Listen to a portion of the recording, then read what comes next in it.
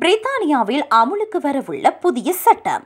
பிரித்தானியாவில் புதிய சட்டம் ஒன்றை அமுல்படுத்துவதற்கு அரசாங்கம் திட்டமிட்டு வருவதாக செய்தி வெளியாகியுள்ளது வேலைநிறுத்தம் தொடர்பாக இந்த புதிய சட்டத்தை அறிமுகப்படுத்த நடவடிக்கைகள் மேற்கொள்ளப்பட்டு வருகின்றது.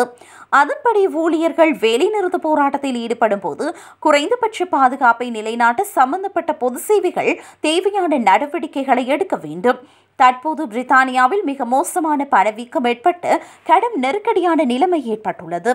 எப்படி இருப்பினும் அதனை சமாளிக்கக்கூடிய சம்பள உயர்வு கிடைக்காததால் அந்த நாட்டில் உள்ள பல்வேறு முக்கியமான துறைகளைச் சேர்ந்த ஊழியர்கள் பலர் அண்மையில் வேலைநிறுத்த போராட்டத்தில் ஈடுபட்டனர். அவர்களில் தாதியர் ஆம்புலன்ஸ் ஊழியர்கள் ரயில் சேவை ஊழியர்கள் ஆகியோர் அடங்குவர். இதேவேளை ஊழியர் வேலைநிறுத்தம் உச்சக்கட்டத்தை எட்டியமையினால் அந்த நாட்டின் செயற்பாடு முடங்கி போகக்கூடிய அபாயம் ஏற்பட்டுள்ளது. லண்டனில் ஆகப்பெரிய ரயில் நிலையங்கள் மூடப்பட்டன.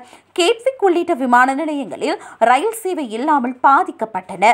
பயணிகள் பேருந்து அல்லது வாகனங்களில் செல்ல வேண்டிய சூழல் உருவெடுத்தது.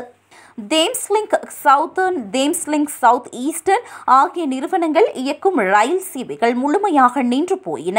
சம்பளம் குறித்த கருத்து வேறுபாடுகள் இருப்பதனை தொடர்ந்து அஸ்லெஃப் ஊழியர் அணியின் ரயில் ஓட்டுநர்கள் வேலைநிறுத்தத்தில் ஈடுபட்டனர்.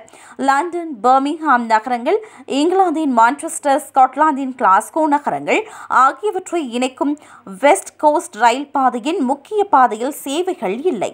இதனால் மக்கள் கடும் நெருக்கடிக்கு உள்ளாகியிருந்த விடயங்களை கருத்தில் கொண்டு இவ்வாறு சட்டம் கொண்டு வருவதற்கு நடவடிக்கை எடுக்கப்பட்டுள்ளது.